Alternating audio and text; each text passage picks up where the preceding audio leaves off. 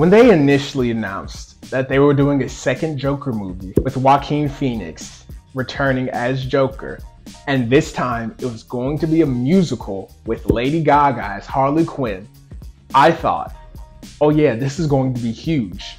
This is going to be another hit.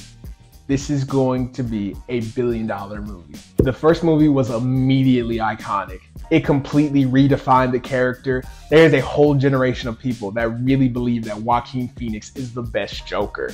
And then you're adding Lady Gaga. People love Lady Gaga. Bad romance. It's definitely going to be a hit. And then the movie comes out and it's not a hit. It's not a hit at all. And I saw that and I said, I gotta see it. I have to see this movie. And I gotta make a video about it. I went and saw the movie and I didn't like it. I didn't like it at all. It's bad. I've always had an affinity in my heart for the Joker character. I genuinely think it's one of the best characters, not just in comic books, but in fiction. A bunch of guys nearly a hundred years ago saw Batman, this really serious, really dour, traumatized billionaire that dresses up as a bat and drives around at night fighting crime, and thought, you know who his number one villain should be? You know who his biggest adversary should be? The one who's constantly outwitting and outsmarting him? The one who he's sworn to defeat? An insane person that dresses up like a clown. And we believe it because that character is so damn good. And the fact that the Joker has gotten to the point where he is just as iconic as Batman. No other superhero has a villain, I think, that comes anywhere near Joker. Maybe Lex Luthor, I don't know, but Joker's the most iconic superhero villain ever. And he has the most iconic superhero villain performance. Heath Ledger in The Dark Knight. Heath Ledger is still the best Joker. Heath Ledger is easily the best Joker. I don't care how many Oscars these other niggas win. Heath Ledger will forever be the best Joker. It's like Michael Jordan to old heads. He's always gonna be my GOAT. Heath Ledger's gonna be my GOAT forever. No matter what you niggas do, I don't care. After Heath Ledger's Joker, I thought they're never doing another live action Joker. But we live under capitalism. So we got Jared Leto's Joker. Let's not spend too much time on that. Let's move on from that. After Jared Leto flamed out, I thought, okay, now they're done. Now they're done with the Joker. And then they announced that they were doing an entire movie about just the Joker, starring Joaquin Phoenix. When I first heard that they were doing a Joker movie way back in 2018, 2017, I don't know. I thought this is just another ploy for more money. There's no art in this whatsoever. Heath Ledger has already made that role cursed. But they had to try, you know, because money. The first Joker movie was a phenomenon. It was undeniable. I didn't much care for it. I think everyone was being really annoying about it, both sides. Both the people who despised it and thought it was garbage, and the people who loved it and thought it was a masterpiece. Both sides of the argument were really annoying to me. That movie is not that good. It's not that bad. It's not that good. It's just all right. Joaquin Phoenix's performance is quite good, and I'm not that mad at the Oscar win. But people act like it's either a masterpiece or it's terrible. It's just in the middle, and it happened to gross a billion dollars, and it happened to become a lightning rod for controversy and conversation. When they announced the sequel to Joker 2019, I thought, okay, let's have some fun with the character now. Now that he's Joker, now that he's fully become Joker, now that we've seen his journey, let's see what Joker looks like operating in this really seedy, 70s grimy ass world. Joker 2 Folie à Deux said, fuck that. We're not doing any of that shit. When I first saw Joker, when I saw you and Murray Franklin, the whole time I was watching, I kept thinking, I hope this guy blows his brains out.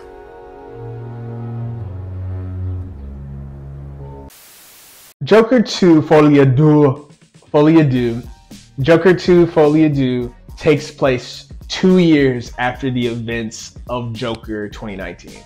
Arthur's been in prison for two years.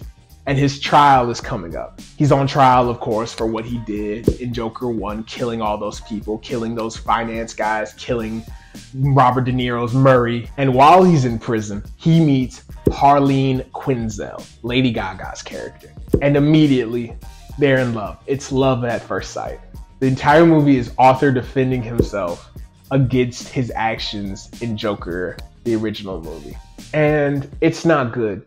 It's not good. I don't like this movie at all. It's insufferable. This movie is a bad courtroom drama. This movie is a bad musical. This movie is a bad comic book movie. It's bad in so many different, innovative ways. All this movie does the entire time is relitigate the events of the first movie. And the Harley Quinn character is sort of a stand in for the fans who loved the first movie and made a hero out of the Joker and what he did. And the movie is effectively saying, fuck you to those people. The movie is saying, you fucking suck. You fucking idiots. Why the fuck do you like this guy? Why do you think this guy is interesting at all? And the musical element of this movie, I don't even really know what to make of it. I don't know why they did it at all. I'm a theater kid. I like musicals. I'm sorry. And the number one rule of musicals is a character sings when words no longer service their wants. They sing to get what they want. They sing to advance the story. All the good musicals, the songs are integral to telling the story. You could literally remove every single musical number from this movie and nothing would change. There would be no difference it would definitely be less entertaining than it already is. The musical numbers are the one source of fun in this movie. And even they are boringly and uninspiringly directed. Todd Phillips clearly has no idea how to direct a musical number in an interesting way. There's a couple musical numbers where the camera just goes around the room and follows the character awkwardly singing. Lady Gaga maybe gets one moment when she really gets to belt and show off. And besides that, she's made to sing in this really weird, really whispery way. You could take Lady Gaga out of this movie and it would barely change at all. She she makes no impact on this movie whatsoever. It's like they don't know anything about the character Harley Quinn. The one part when Joaquin Phoenix gets to really be Joker, gets to really ham it up it's probably the best part of the movie when he's uh, cross-examining the little person that he spared in the first movie after murdering the bigger bully clown. I could have used more of that part of the movie. That specific scene had everything we liked about the first movie. Had a little humor, little comedy, also had a little pathos in the little person, Mr. Puddles. He got to actually defend himself and call out Arthur for traumatizing him in the first movie. That was a good moment. That was fun. That was good. And Joaquin Phoenix was being Joker, and it was really, really, really interesting. And I thought, oh, is the rest of the movie just going to be him defending himself? But no, no. He rests his defense then. And when his final arguments come towards the end of the movie, and he has to defend himself, defend himself in front of the prosecution, which I forget to mention is Harvey Dent. It's Harvey Dent. I mean, you know who that is, right? You you get it. Harvey Dent. Harvey Dent. Lawyer guy, Batman, lawyer guy, Gotham City. You get it? That's that's really the one comic book thing in this movie besides Harley Quinn. There's no other comic book stuff in this movie whatsoever. This movie hates hates comic books and it's a comic book movie. Towards the end of the movie, in his final argument, Joker has a chance to defend himself. But in an interesting twist, Arthur comes through and owns up to all the violence he committed in the first movie. He says there's no Joker. There never was. Much to the chagrin of his fans, namely Harley Quinn, who just walks out of the courtroom. Another interesting moment in an otherwise dull and uninteresting movie. And then there's an explosion, and you think, oh yeah, that's Harley Quinn. Harley Quinn's finally coming through. She's going to she's going to take up the mantle and she's going to make Joker be Joker.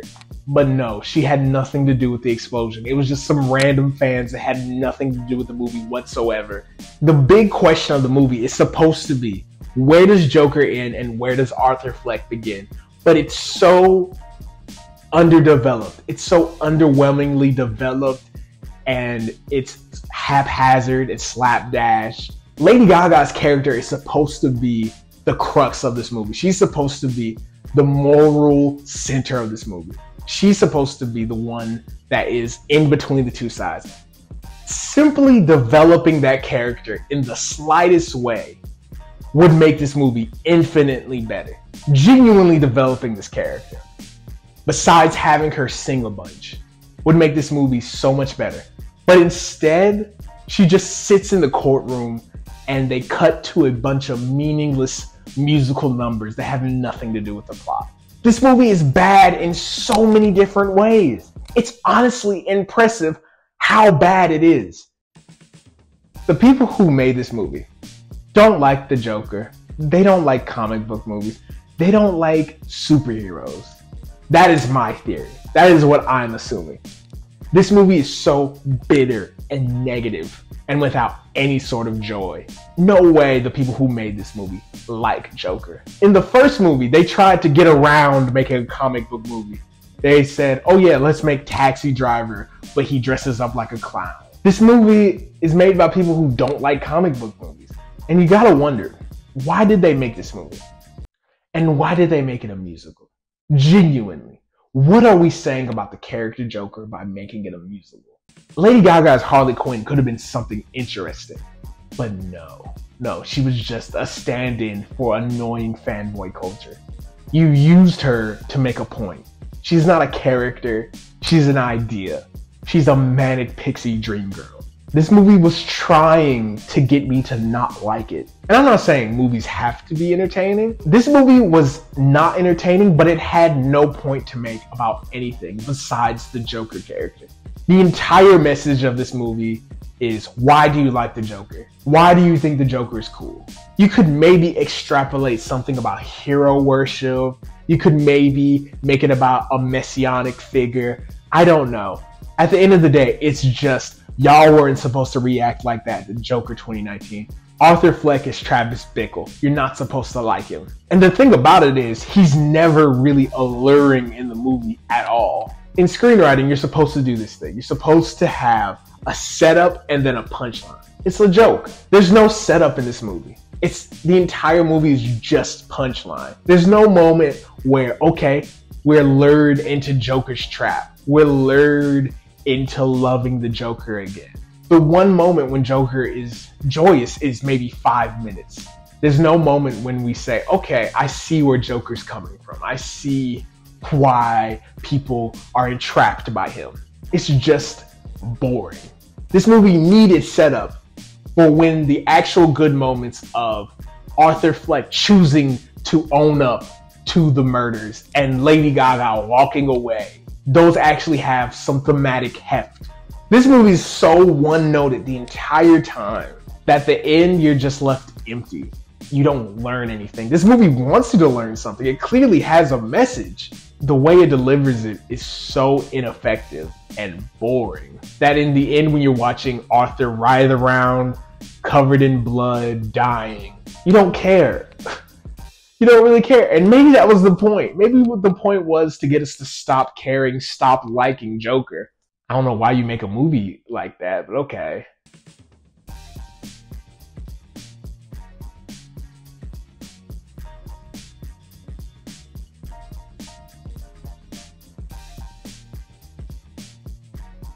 Man, I gotta make a I gotta make a video about a good movie. This shit is so sad.